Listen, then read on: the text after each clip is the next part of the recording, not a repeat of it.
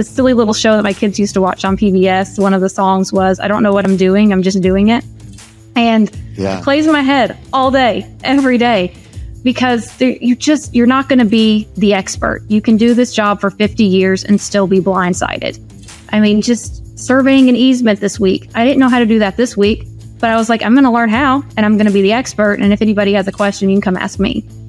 Um, and I didn't know how. And it's okay to not know how. And it's okay to always ask dumbest questions because chances are somebody else was too scared to ask it. And now I have the information and they don't. And that's why I'll be better.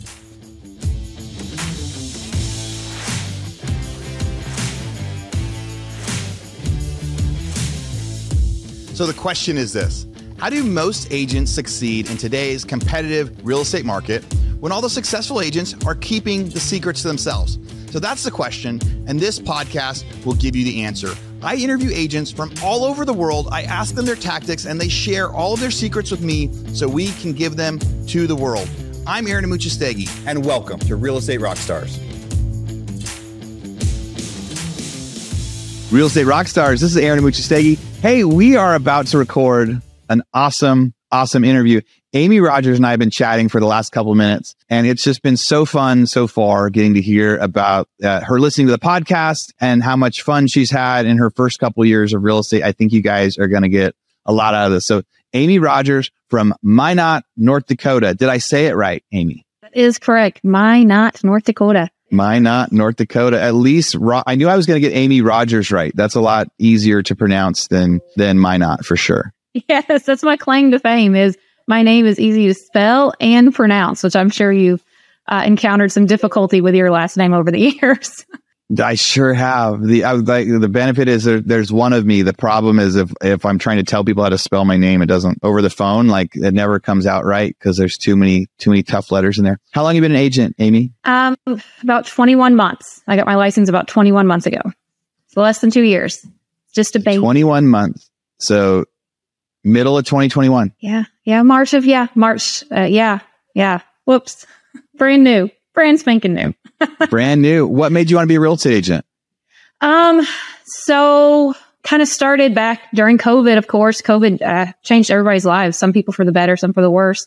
Um, I started flipping furniture, which is a weird way to cope with um, quarantine, having four young kids at home and homeschooling. Started flipping furniture. All the stores were closed, but the yard sales weren't. So I'd buy a crappy dresser, sell it on Facebook for like $80, make $60 flipping furniture. It was a weird way to do things. And then I renovated our house. And then my husband had a harebrained scheme of, hey, let's uh let's never leave North Dakota and let's build a real estate empire. Um, so we started buying investment properties. We moved a handful of times using our VA loan and turning those into rentals as well. Um, we just rent out handful of properties, and then the real estate agent that we'd been working with, um, her husband, who was active duty military, moved. So um, she encouraged me to get my license, and beginning of 2021, I started the real estate courses, and then by mid March, I had my license, a handful of listings, and a couple of buyers, and just kind of took off from there. Yeah. So, so what was your day job before COVID? So before before 2021. So the so everything gets shut down. Now, did- And did you start homeschooling during that time, or or were you already homeschooling? I've been a stay-at-home mom for a dozen years. I got I got the best job in the world. I got to stay home and raise my four babies. And then once the schools shut down, all those those four babies that were in public school came came home. and uh, it was it was great. I loved being able to homeschool them for that period of time, but it's tough when the parks are closed and friends' houses are closed. It got a little claustrophobic in our our actual tiny home. And um, so to decompress, uh, we turned to renovating houses. When did you guys move to North Dakota? We've been here for six years. Okay, Yeah, so so we you moved, moved there here six years ago. 2016. Yeah, 2000 end of 2016. Yeah, that's I our was just trying to look on winter. the map to see if if we hit North Dakota when we were we did a road trip. Um, Oh, that's right. You guys have an an RV. We have an RV. It's so much fun. Yeah. Yes, we got our RV during COVID. We hit all these states.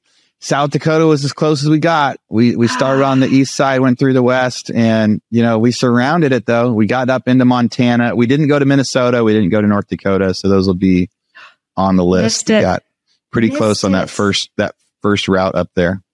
Oh, it's a great place. So, so you started to learn about real estate. Essentially, so you're flipping furniture because you're like, hey, life is slowed down. We can't do the same amount of stuff almost as like a hobby. So you're out there, you go to a garage sale, you're like, wait, I think this is probably worth something. So you put it on Facebook. So you mm-hmm. start to get like a first taste of like being an entrepreneur, like hustling for an extra dollar. And it's probably kind of fun. And, and, you know, and you're like, all right, cool. 60 bucks. That buys us, buys us lunch today. It buys us dinner today. And, and that was pretty fun. And then you guys started, you know, did your own renovations and then said, let's get into real estate. And you wanted to go bigger into real estate at that point. So when you got your license, so January 2021, you start taking the classes. March 2021, you're licensed. How do you get your first deal? My first, um, my very first listing that I ever had was actually a furniture customer. Um, she bought furniture from me and she thought that was enough experience to sell her house. Um, and I got a handful of referrals from other um, agents who didn't live up here, who'd left and were sending me some business buying clients. The very first buying client I ever got, what, well, the very first house I ever bought was my own, um, was a, an investment property. And, um, the name of our little investment company is Yellow Door Homes. So we paint all of our, ho- our little doors yellow. It's adorable. Yeah. Um, so by having that yellow door notoriety and me renovating the houses myself with our four kids by my side and putting that on social media, people saw us as the the yellow door weirdos and and they kind of I kind of grew that business and grew that notoriety by having that well-known branding. Our community is pretty small. It's only about 50,000 people. So to take these distressed properties and to turn them around and make them look good, we kind of built up a little bit of an image with that. And I do know a lot about houses and I love our community and to see houses turn into homes is it's a it's a great little process. So how did you so your first client's a furniture customer, which means like you bought furniture from somebody else and sold it to them on Craigslist and somehow they that converted that you could be a real estate agent. Was that because they saw on social media where you were like like did you tell them hey I'm an agent too? Or did it just like you just connected from that and then they saw your other presence like like how did they find out you were an agent? they just kind of connected it. Um, social media mostly. That's a lot of it. Um, we're not from here. We're not from North Dakota. We don't have our, we don't have deep roots. We don't have a lot of fam. We have no family here. Um, so we don't have those high school buddies. Uh, but we do have, um, people who do trust our, our brand and they trust me to guide them through real estate transactions. But a lot of that was by showing our renovations on social media, showing my my then eight year old ripping up carpets. Our ten year old painted an entire house herself. So to show that because it's fun, it's cute, it's sweet, and and I'm not shoving it down people's throat that I renovate houses and I want to sell houses for you and with you. Um, it it it landed well it landed well. And that's kind of how it got out there that I had my real estate license. But mostly I just got my real estate license for our investments. But when people noticed that I was um, doing a good job with it and I was a hustler and they knew I would work hard for them, it kind of uh, kind of caught fire from there. When my work, when my wife first got licensed, it was just to sell my properties right? I was buying them, I was fixing them. She got licensed to sell them. We're like, hey, we got to use a, we got to, we got to use a broker. We got to pay a broker. It might as well um, be you. Mm-hmm. And the and it was like that for a long time, right? Before it mm-hmm. led to anything else or any other listings or any other sorts of clients. Um, so it's a great way to get a foot in the door when you have kind of a source, right? You're out there buying for yourself and you're fixing and you're selling. And at that time, you said your social media you weren't blasting to people of you weren't saying like hey hire me as your agent but you were showing them proof of your real estate knowledge out there and so i think a mm-hmm. lot of agents we can do that all sorts of ways and we've had a lot of people talk about that of like just doing a video of like putting a sign in the in the in the you know, the grass out in front of a house or when people are doing videos saying like, Hey, I'm doing an open house today. Like you're not going to get very many people that are going to show up because you did that video. But now people are going to know you're out there doing your thing. Or if you're out there like cleaning up, like some of the stuff that isn't as exciting of like, Oh, I'm cleaning up this listing today or look at this one. Anytime you can like show expertise, subtly show expertise or knowledge, um, that has to help. And it sounds like that helped with Amy. So the, so how many deals did you do your first year? So the very first nine months, so it wasn't even a full year. So the, my first nine months, I closed uh, six, uh, 36 sides, and that was 6.8 million in nine months. 36 sides, 6.8 million. What's the average sales price there? About 200,000? 240,000 is in, in my market. Okay. So, two, so $240,000 houses on average. Now, in that first year, how many of them were ones that you bought, that you were the buyer and the seller also? And how many were other clients? Ooh, that's a tough one. Um, so, or, yeah. Oh, so dual agency, a, a good chunk. Good chunk was dual agency. And then, um, not quite half, probably about a third I was able to do dual agency on. yeah. But did you, I, I guess what I mean is like, were you the buyer? You were the, inve- like, how many were you the investor on? Nine. Nine. Nine. Cool. Yeah. So Yeah. the so you were able to it wasn't even a like so not even like a third, right? So you were Right. you were the investor on like on like on nine of the deals and that was how you got some stuff, but just by doing those for yourself, doing your fix and flips, putting that out there, people said, "Hey, can you help me buy one?" And then what about 2022? So how how did your volume grow in 2022? I pretty much doubled sides. I was at 67 sides for 2022 with 14 million. Yeah, which is great, right? There's so many people out there right now that if, if they could imagine that getting that sometime in the next 18 months, they could get up to be doing 60 sides, they could be getting up to 12, 14 million. Like that's a goal. That's, that's like a goal that people are getting to. And listeners out there, if you've had a slow first couple years and you want to be able to do that in the next 18 months, I think it's possible, even as our market changes. Or if you're brand new and you're trying to figure out what's realistic and, you know, and what are we looking at? um, you know, Amy's got some really good stats to show, especially because you said there was like 50,000 people in the town you live in, right? So out of 50,000 people, you know, being new there, you, you've been able to generate enough, uh, transaction to, to see what's next. What do you think is going to happen for your numbers this year, 2023? It's such a hard, it's hard to know for me because we just don't know what the market's going to do. So I'm not really focused too much on my volume goal or my size goal. I'm just kind of hunkering down on market share. So I was about uh, 3% of the market, just me alone with transactions. So it would be, I would like to push it up to 5%. I'm just focusing on, because I don't know, we just don't know what's going to happen this year. So um, it's going great. I'm off to a good start. I mean, a million in a month is pretty good considering it's the slow season and we're supposed to be in a little bit of a down market. Um, so I'm just focusing more on carving out more of the market for myself. Yeah. And agents listening, I think that's a really simple calculation you guys can do right now. You can go to 2022 and say, what was my market share? You can go to 2021 and say, what was your market share? You figure out how many of the closings happened in your area. And, and it's really whatever you want your market to be.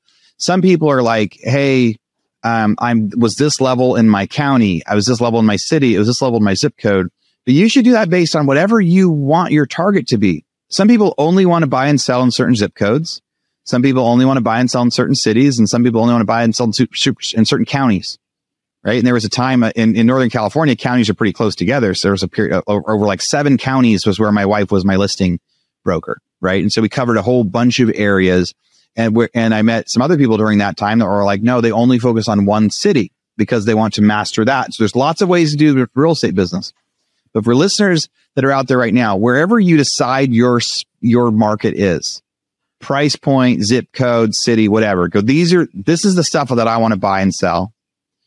Go calculate your market share from last year and then calculate this year because this year can get pretty discouraging some of the time if you're focused on your numbers, if you're focused on your revenue and you're focused on volume. So much of us talk about volume. It's one of the first questions we ask on here, right? But I like that idea that Amy's uh, transitioning that over to just straight market share. When I interviewed Eric Bramlett uh, a couple months ago from Austin, he talked about how much market share he grew back in like, you know, 08, 09, you know, when everything had slowed down. And then in 2012, when, when the market got good, he had gained so much more. So I think that's a great goal to put into place. And I think that it can probably help when we're getting discouraged of, Hey, we're doing less deals, but now we're doing 5% of the total deals out there. So even though my, even though my, I'm not doing as much as last year, I'm doing better than the average agent. Uh, in my area, or I've or I've adjusted faster than the average agent.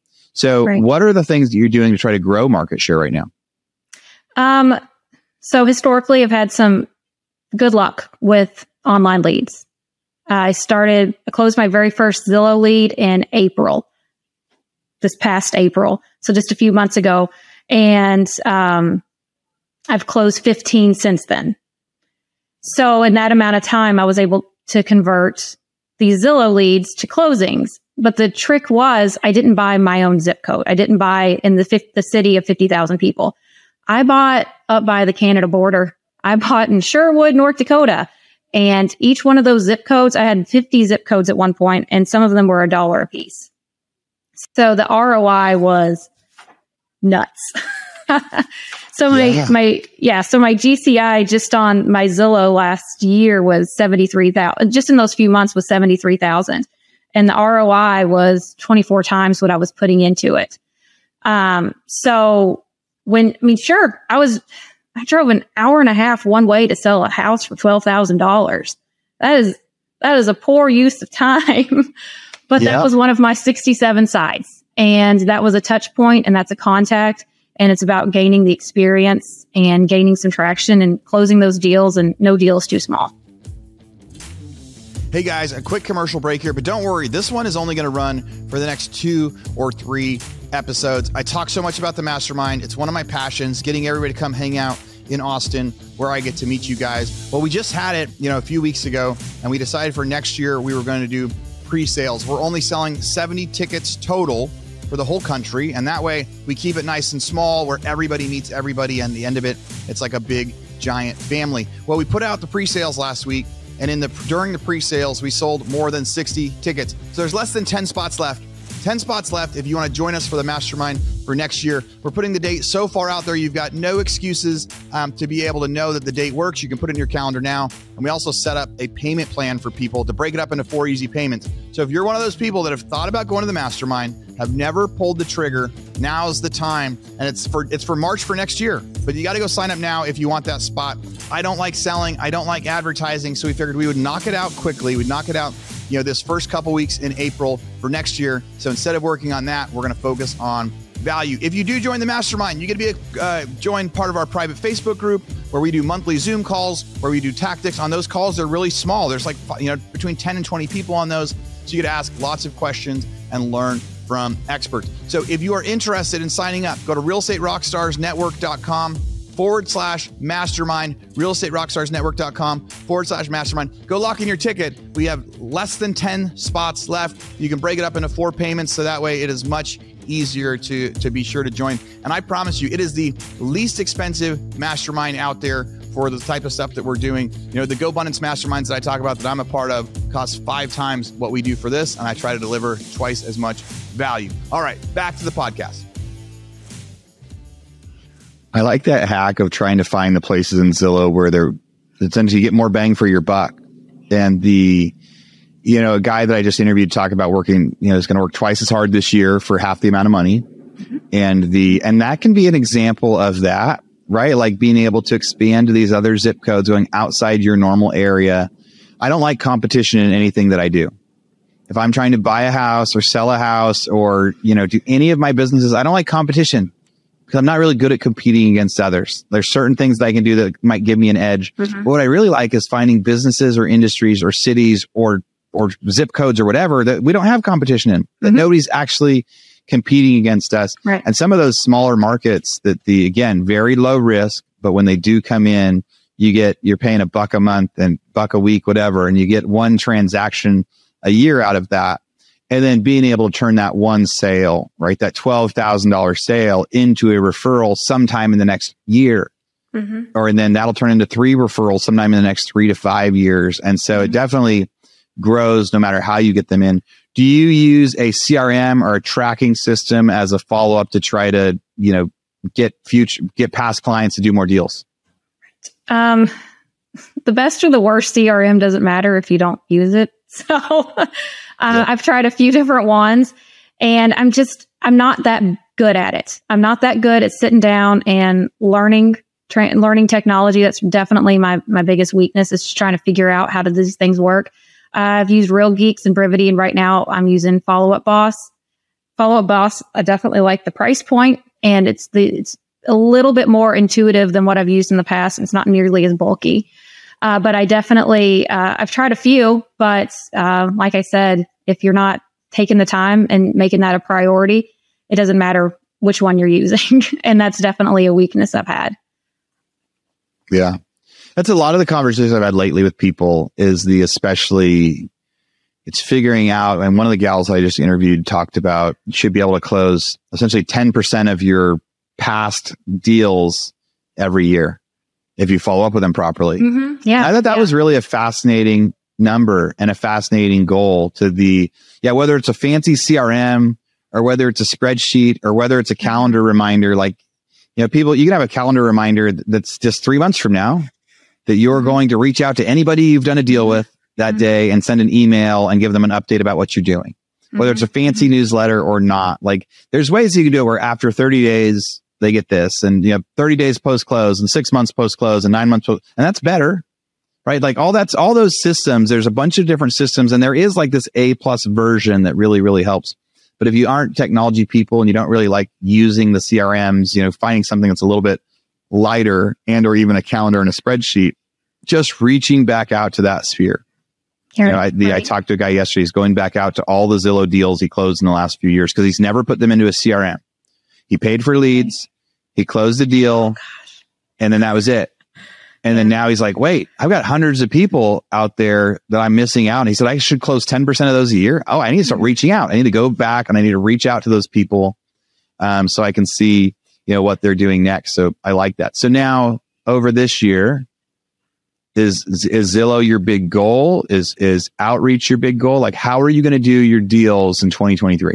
Right. The thing about Zillow, it's just not scalable because it's just, it's, it's going to generate what it generates. Um, so I've really started to put more focus on social media. It is free. Just do it. And building up Instagram and uh, Facebook because that's just where everybody is. It's, it's just unfortunately that's where people live and just building up that presence and making sure that I'm not shoving down their throat that I will buy and sell your house. Let me buy and sell your house. But I, I genuinely enjoy real estate and I, I work very hard for each one of my clients.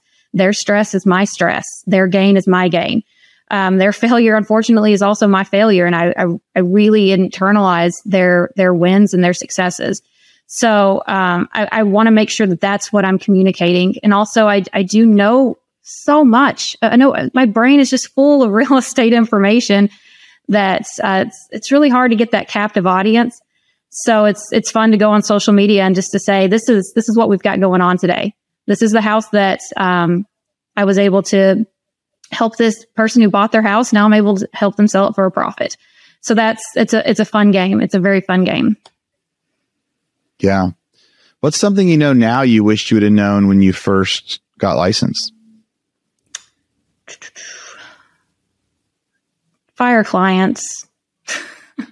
yeah. If I mean, just your time and your money, there's, there's always going to be a return on investment.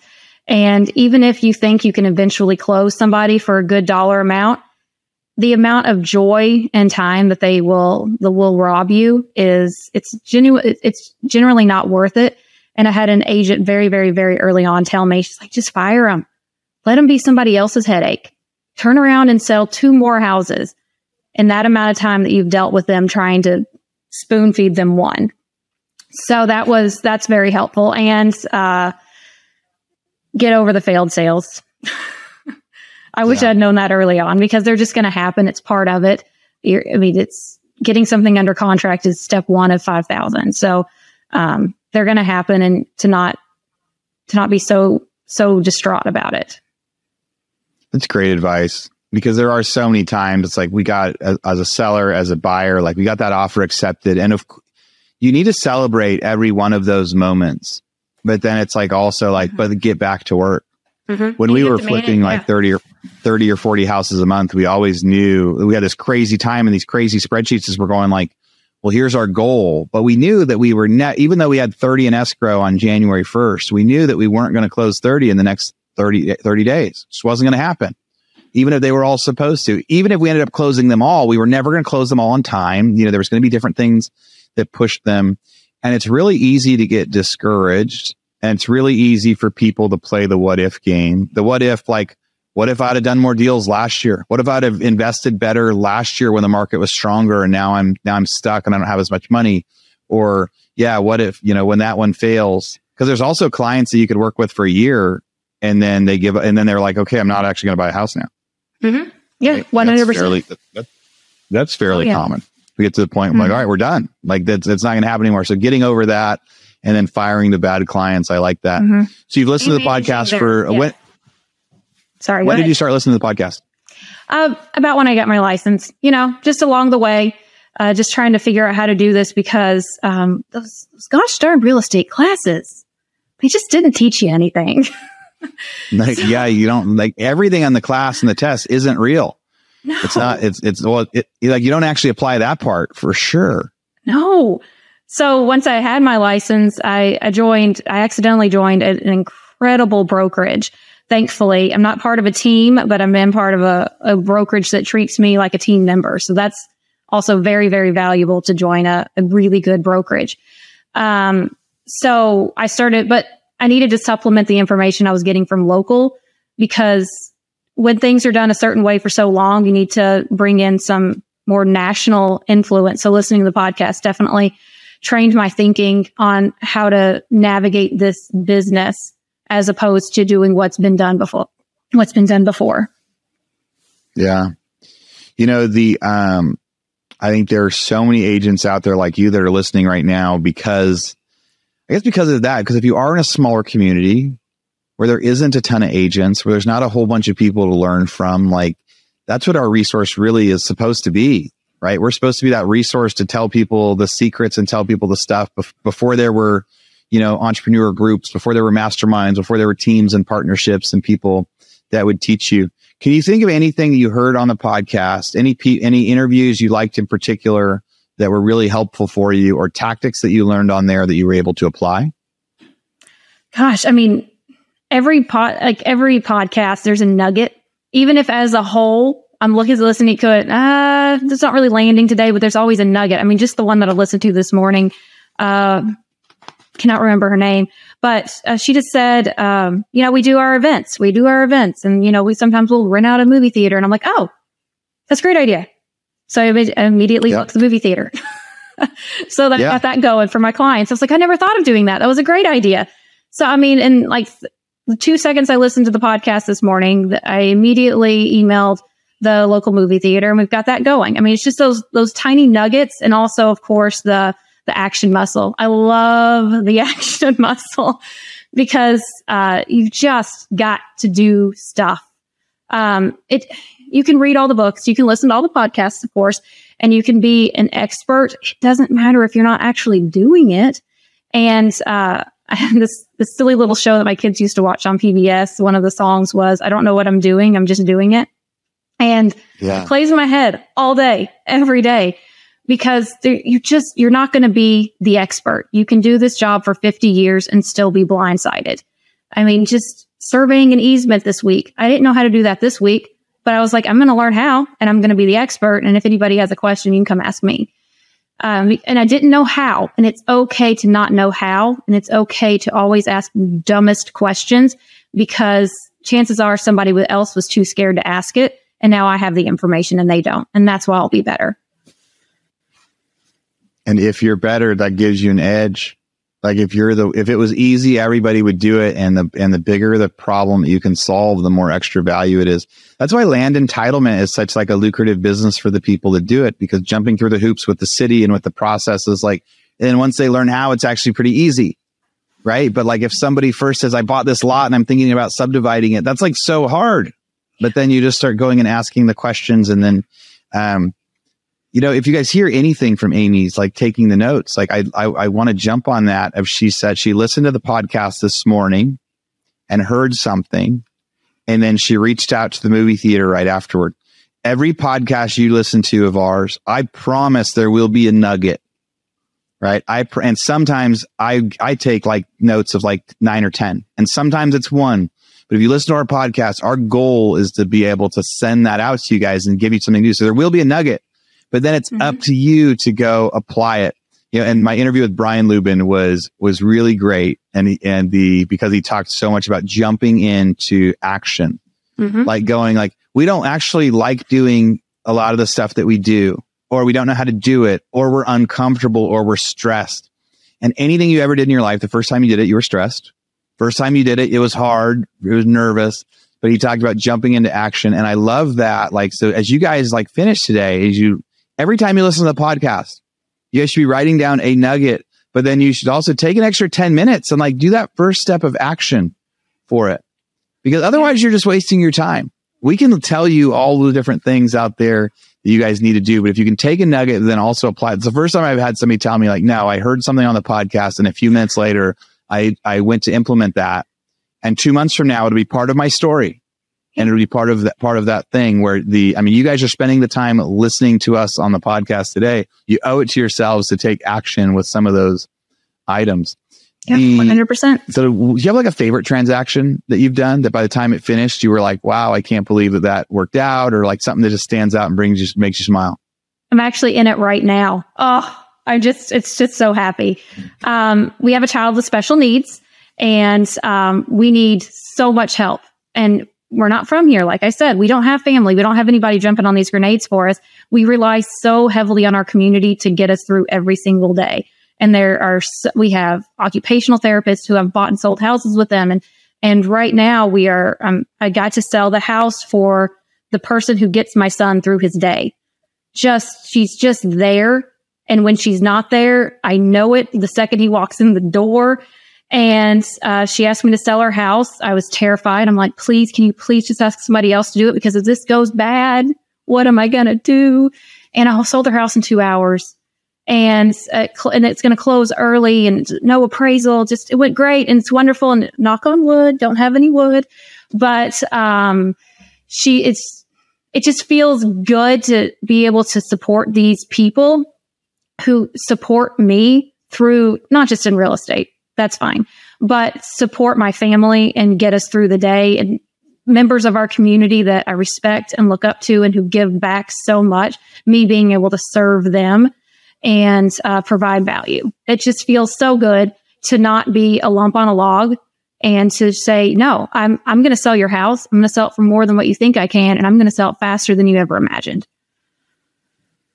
Yeah, the amount of relief that you can give somebody when you do a great job as an agent mm-hmm. right now is like there are plenty of times when the that then it's that this can be a job, right? That it's just you make money for effort, and plenty of times where it's a lot of effort for not enough money, and like when it's frustrating. And so it's so great when you get the the big transactions where if we can remind ourselves like you're changing somebody's life in every mm-hmm. one of mm-hmm. these mm-hmm. transactions, it makes it. Oh, I did, and I do have another one. I have another yeah. one that was my favorite too. Um, I, I, probably should ask him for permission before I told it, but uh, great guy, wonderful guy. He came to me and he's like, I want to be an investor. He's like, I want to sell something other than drugs. yeah. So I sold him a duplex. He lives in one side, he rented out the other one, and he sent me this silly picture the other day. And he was pulled over on the side of the road, and there's cars behind him. And he said, "Look, I got pulled over. It's the first time I'm not getting arrested." Um, he turned his life around so much. And now he's a real estate investor. And he's like, next stop is being a millionaire. And it's uh, being a real estate agent. Yeah, we make some money, but we know that the real power is in investing. You know that the real power is there and being able to see somebody just, just scrape their, scrape it together, just scrape it together just enough to buy their very first piece of dirt and say, this is, this is where my, I'm going to raise my kids. And that's what's going to pay my mortgage next door. It's just, it's an, it's a really, really cool feeling. Yeah. What a great place to start to buy a duplex. You live in one side, you rent out the other. First time you realize like that you're, that you're getting to start to win and get out of the red, like that very first step. You know, mm-hmm. you start to win, get out of that rat race where you're not, you're not paying your full mortgage anymore. Mm-hmm. Mm-hmm. Someone else is helping you pay that full mortgage. You got discount, you've got a discounted bill on your side. You know, one of the questions we asked is your favorite podcast. And you said the miracle morning was the was, was one of your was one of your favorites on there. Yes. And so the so t- just tell me about that. Um, you know, it's just important of getting ahead of the day and not falling behind and just getting your crap together. And it's it's tough. It's I mean, it's tough because it's so cold here. It's negative 55. Mhm. You don't want to get out of bed, but you have to. You got to get your day going. And uh, it's just it's important to to make sure that you carve out that time in your day to reflect on what's actually not just what's going to happen in your day, but what happened in the day before that was actually worth mem- remembering and valuing and honoring. Um, there's something that I, I recently started doing instead of a bucket list. Bucket list. Oh, wait, what do you want to do? It's like a reverse bucket list. Like turn around and go, oh my crap! Look at what I did. Look what I did. I got I got a Yeah. beautiful house. I have a beautiful family. I have the best marriage uh, that I ever could have thought I could have had with my wonderful husband. And to look back at these things that I've accomplished and go, well, that wasn't a disaster. I can do this day. This isn't a big deal. Look at everything I already did. My bucket list is secondary to my reverse bucket list. Yeah. You know, for people listening too, like if you call it your reverse bucket list, if you call it your gratitude list, like I do my, I do daily affirmations. I learned first from Hal Elrod's Miracle Morning. Hal was one of our speakers at our mastermind last year out in Austin. Good buddy of mine now. I'd never met him when I read his book. Um, but I like to, you know, part of that, you know, the, the, the gratitude or the reverse bucket list is I go, thank you that I was able to do this last year, this last year, and this last year. And sometimes it's thank you for that trip. Thank you that we were able to pay for my daughter's medical expenses. Thank you that we were able to go to Arkansas for six months and that we were able to, we had the ability uh, to work through that. Thank you that I sold that one house right before the market turned. Thank you that I refinanced our our, our main house before uh, at the I, I you know I missed refining on a bunch of my investments, but I refied my personal house at the absolute lowest possible amount ever at the absolute peak of the market, the most that house had ever been worth. So you could have these wins, and you, when you remember the wins and you stay grateful, and then we start to go. And now here's what I'm going to do this next year. It helps bring your goals to the top, but also make them less scary or less like, look, yeah, look what I've already done. Look what I've already done. This next year is nothing in that comparison as you guys try to look uh, at your stats for what's next. So the, so are you slowing down on your, uh, your own investment purchases right now? No, never. Unfortunately, some days I, I manage all of our single families. I recently handed over all the apartments. Um, there's some days, like on Monday, I'm just, uh, you know, we snake in a main waistline, making sure there's not roots in it, and it's just Yeah. that's. I mean, it's a lot of balance. Um, I like our investments. They're they're my babies. I love that.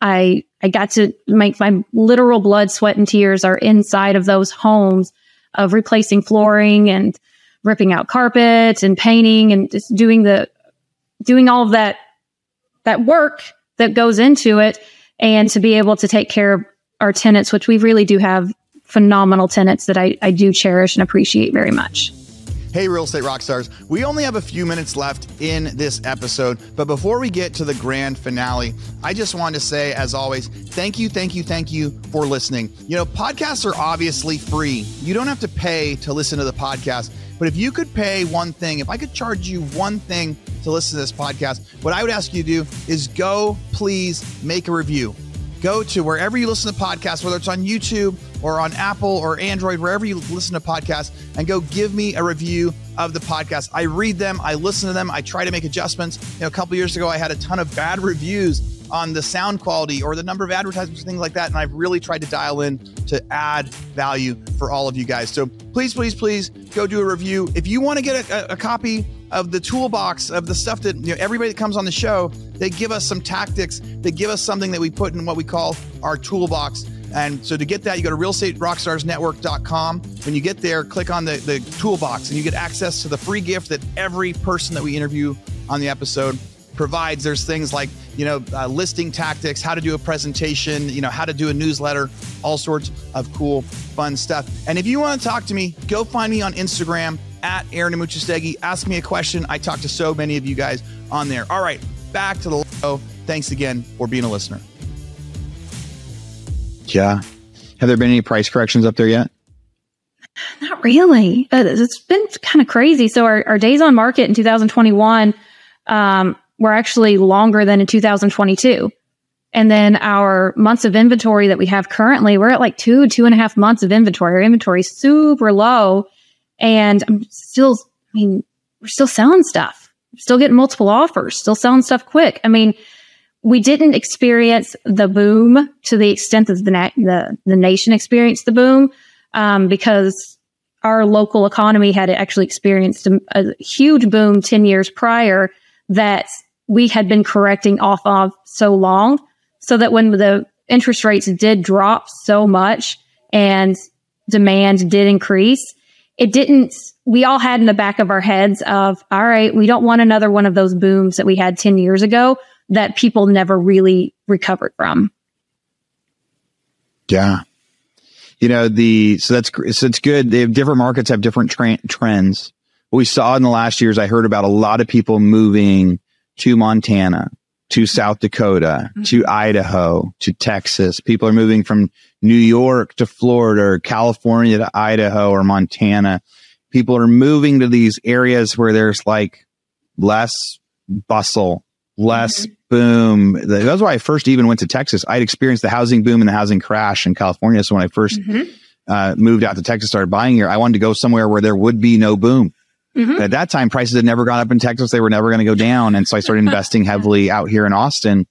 And, and that could be like similar to North Dakota now, right? So the, so as people move around, have a bunch of people move to North Dakota and or tell us about North Dakota.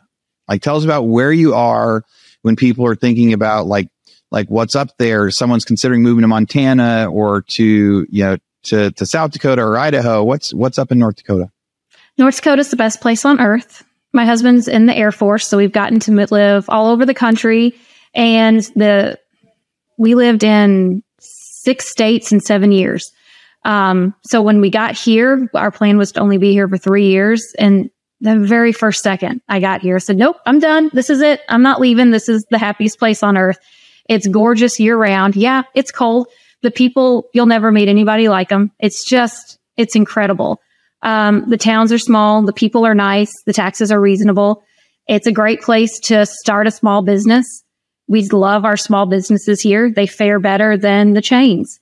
Um, it's a phenomenal place. It's a great place to come. I encourage anybody, if you want to take a trip, come to North Dakota, move to North Dakota, big business, small business. This is a phenomenal place. And time and time again, when people step foot into this state, they say, that's it.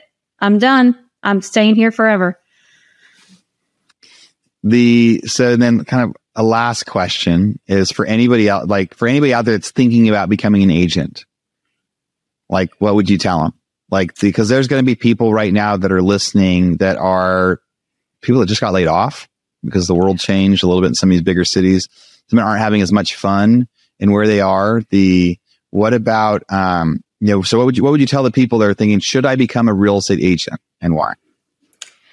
Um, if you're thinking about becoming a real estate agent, the very first step is marry well. There's been times my my phone has rang and it's that client. You're just like, man, I'm just not in the mood. And the, the, my husband goes, you answer it. That's a very, very important person. Yes, they're high maintenance. Yes, they're difficult, but they deserve your time and your energy. Or when I'm getting a Zillow lead and I don't want to deal with a Zillow lead right there. He went, nope, that's million dollars right there. And also when my husband says, those people are jerks and we don't need the money that bad. Um, the amount of patience and understanding that you need to have from a spouse to do real estate because people say, Oh, I want to be a real estate agent because the hours are flexible. It's all the hours.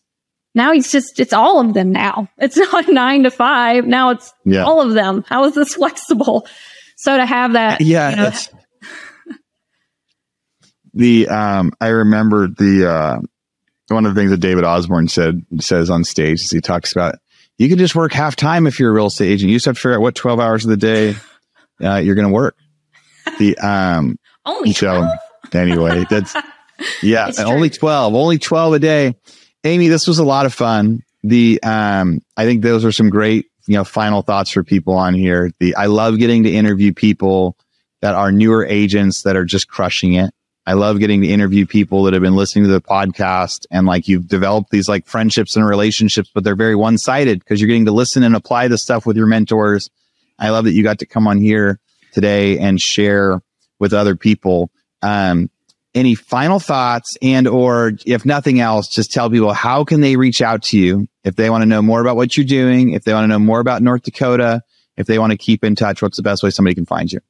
Uh, you can find me on Facebook and Instagram. I'm Amy Rogers or Amy Rogers Real Estate and uh, email address amy at brokers12.com. Reach out, give me a call, come up here. We'll go get uh, go get a burger, get a sandwich, some coffee or something. Absolutely. Cool. Amy, this was so much fun. Thank you so much for coming on the show. It's so great to get to meet you today. Thank you so much. Thank you. And Real Estate Rockstars, thanks for listening.